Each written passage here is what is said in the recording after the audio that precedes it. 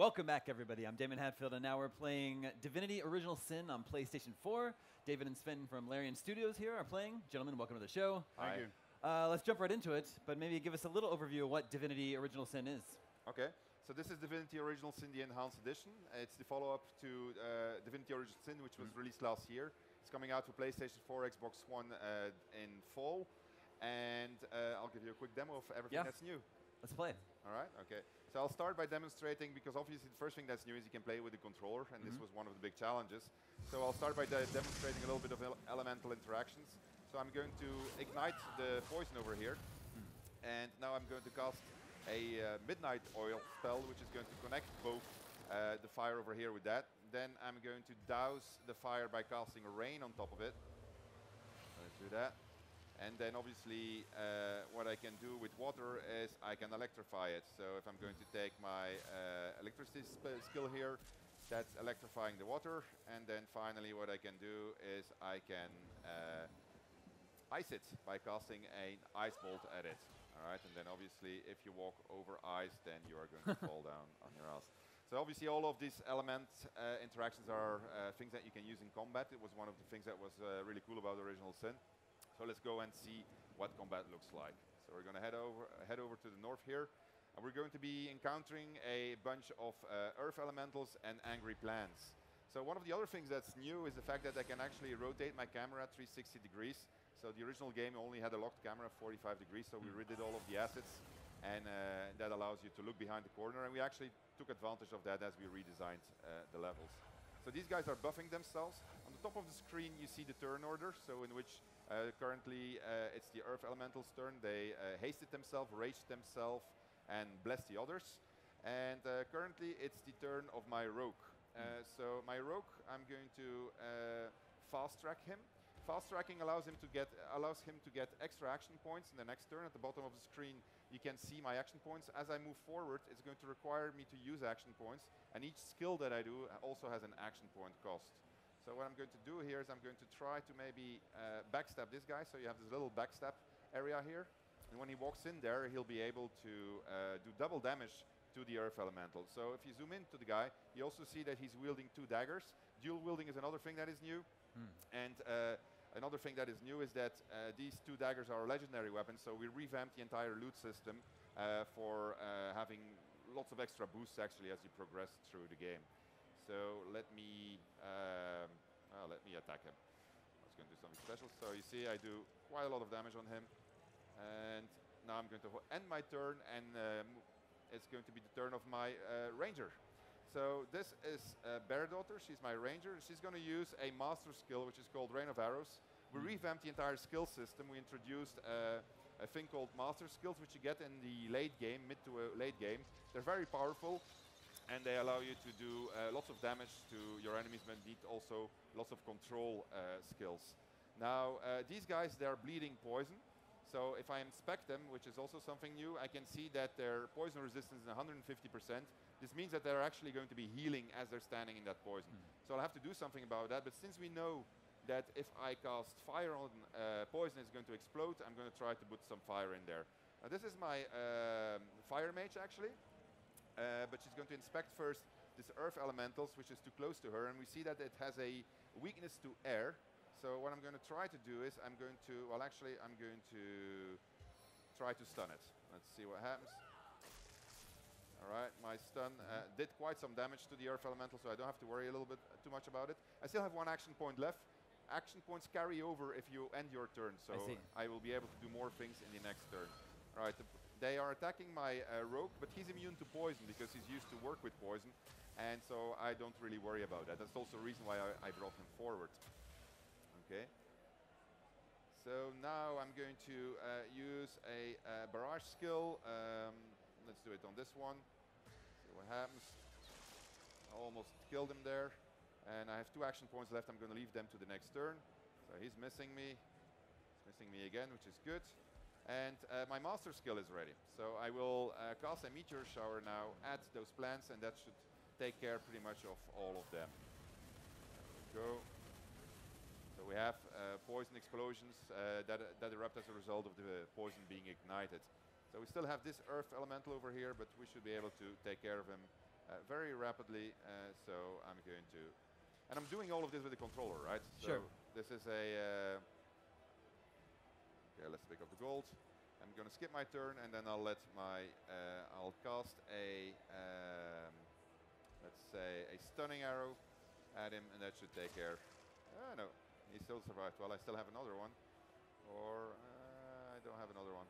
So let me just try to. I'll just cast a regular arrow at him. That should be sufficient. There we go. Okay, so that was a very quick introduction to combat. Nice. So there's a lot of extra stuff that was added to the game, and uh, what I'm going to do now is I'm going to uh, head over uh, to uh, David, and we're going to show a little bit of the uh, cooperative play. Okay, so we see that Scarlett uh, has uh, an exclamation mark Yep. over her head, I was just going to ask about that. uh, and that's because she wants to talk about something. And we see that Roderick also has one. So David, if you can join me. Yep. So nothing's happening. It's not Right, so. Second player is jumping in now. Ah, there we go. okay, so he's going to join in. Okay. Uh, I still have to create a profile. There Alright. Okay. And I automatically got Roderick assigned. So as soon as uh, second player can jump in at any time, uh, Divinity Original Sin already had online multiplayer on the PC, but Hmm. for uh, the console version we added local co-op or couch great. co-op. So I'm going to move over to the left, Dave's going to move over to the right, and then we naturally move into split Wow. screen. And so basically I can now go off and do my own things elsewhere in the world. David will have to live with the consequences of my actions. so uh, another thing which is new here uh, is that uh, we see, uh, well I can't hear it here, I don't know if people on the stream will hear it, uh, everything has been voice recorded. So we recorded every single dialogue in the game. And while we were at it, we also revamped all of the dialogue. We made a lot of story modifications. Uh, we uh, changed the entire ending actually. We added extra depth to the characters. So there's been a lot of story changes, lots of quest enhancements, new quests that have been added, and uh, it makes for almost a completely new game actually. Um, okay, so I'm going to go back to David, and we're going to have do something about that exclamation mark. So when you're in split screen, can you each get into separate combat battles? Yeah. So we'll see an example of that in a second. I can also actually uh, access my inventory, do all the things that I would want to do without him being interrupted. So it's really a game where you can play in co-op without uh, actually uh, interacting with the other guy. So I'm going to head over back to him. My eyesight is not so good, so I'm trying to find my I'm the other way. okay. All right, there he is. There you so go. if I, I Original Sin had this uh, cooperative dialogue system, which you could do cooperative dialogues online, and you could talk to one another, pl- pretty much role-playing the fact that you were Yeah. uh, playing together. And so that's now that's actually the, the vision which was behind the game was that we were always going to be doing this thing, that we talk to one another in the game while we're sitting next to each Mhm. other. So uh, I'm complaining about the fact that David was absent in battle, and so he can uh, give me an answer something. Really? Oh, I'm so sorry. I didn't really mean to leave you in the lurch like that. Next Alright. time, just shout and I'll come running. Okay, well, uh, well, then I'll say, oh, I didn't really run into trouble. I didn't, didn't really need you. We're so Uh, friendly to each other. Yeah, we are actually. We weren't this morning. so, uh, okay, let's head back into town and show you a little bit about the systemics uh, of uh, the game. So, Original Sin obviously is a, a very deep and detailed RPG which features 80 hours of gameplay. And uh, one of the things that uh, made it so popular uh, is the fact that you can pretty much uh, play it like you would play a pen and paper game, except that this time it's on a computer.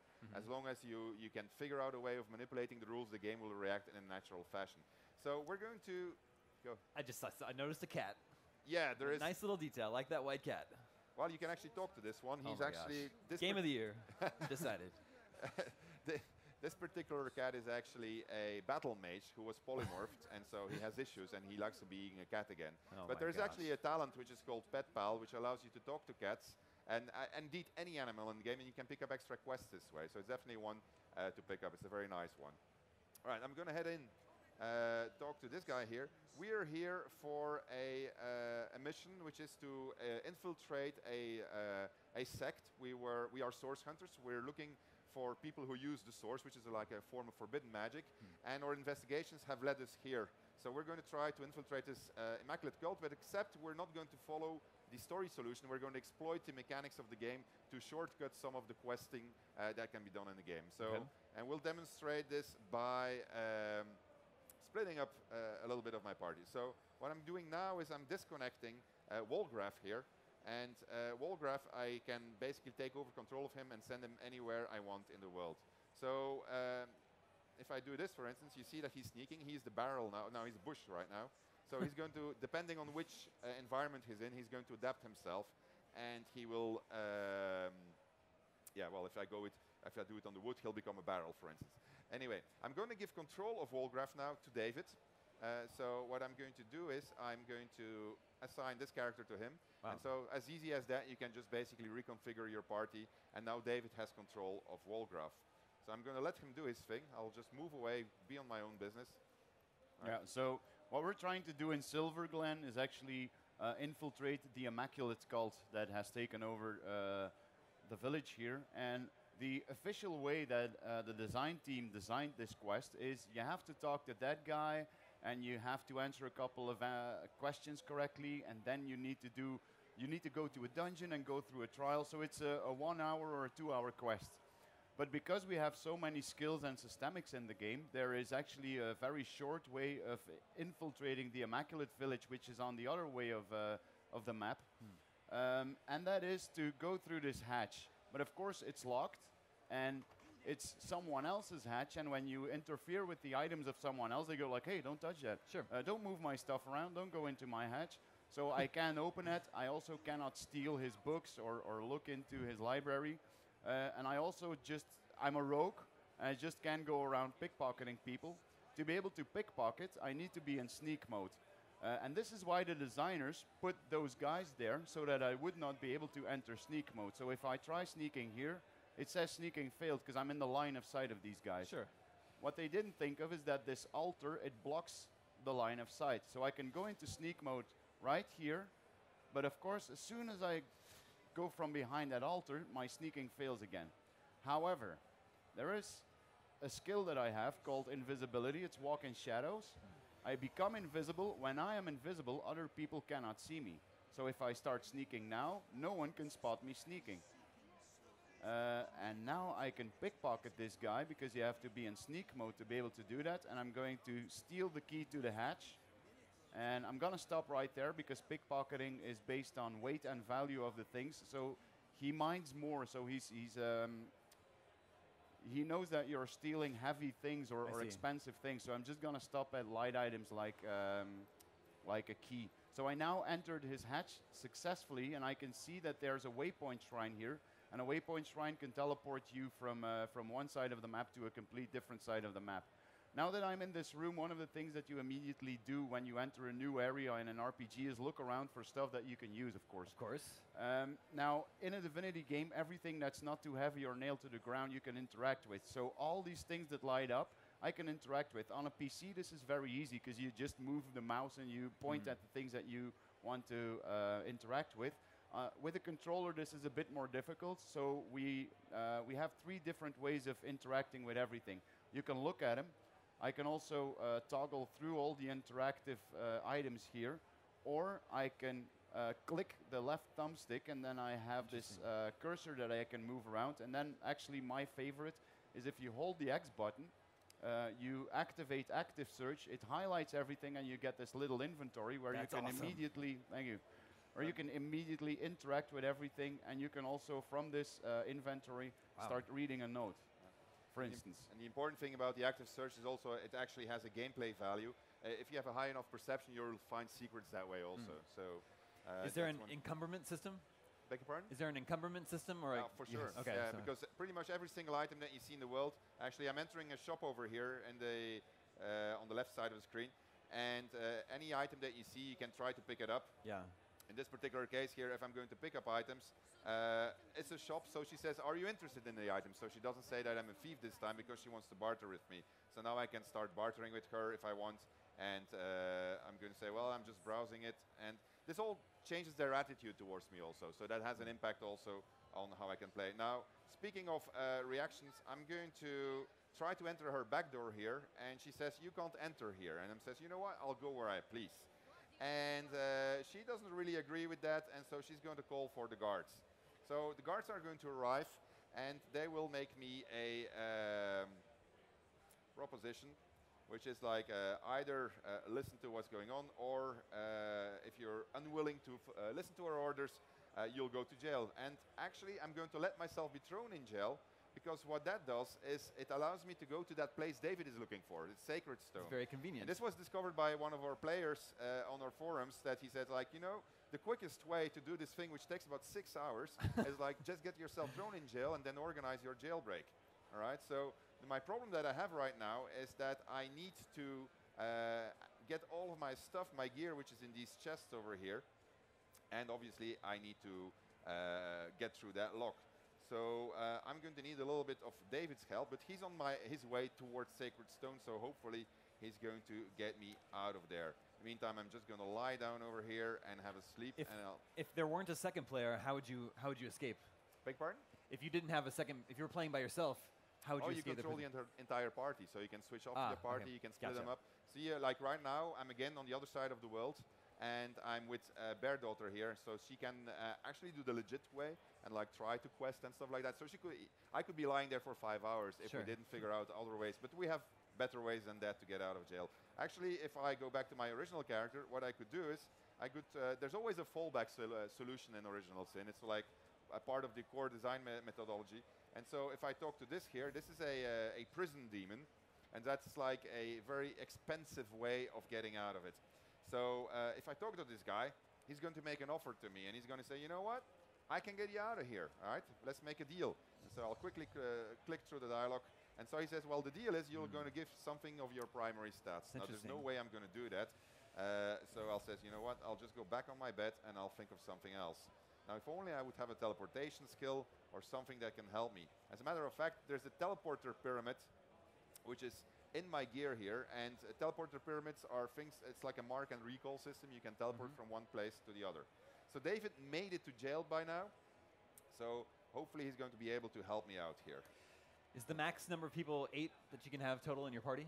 Uh, four. So yeah, But for each of you, or just four no, total? No, no, no. Okay. The, the total party, so because you play together, Okay. is four, and then you can also have summons. Uh, each party, so basically you can have eight actually, because each party member is allowed one summon. Right. Uh, and that's something that you will definitely use in the bigger battles. So David is invisible now. He's trying to figure out where my gear is. I have no idea. It's in one of these chests, right? Right? Yeah. So we're now going to uh, Can you? Uh, well, never mind.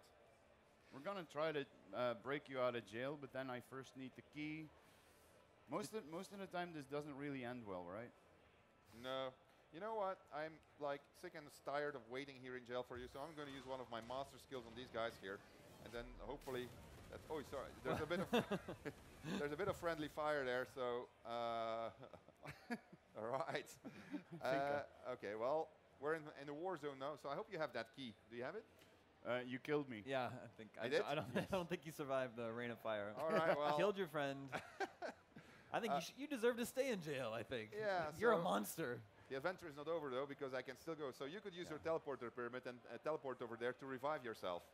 So if you use your, uh, so he has a uh, resurrection scroll, so that one he can use. I think you have the teleporter pyramid. Yeah, there it is.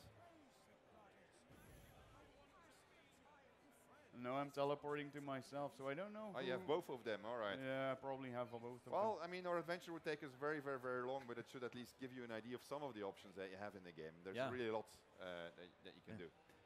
The game looks super impressive. Uh, I think it's awesome that uh, console gamers are going to get a chance to experience. Yeah, it's, it's the first time yeah, I have a game like this on a console. Actually, we've Yeah. been looking for any other game that that did something like this, like you know, a deep RPG with turn-based combat, like Yeah.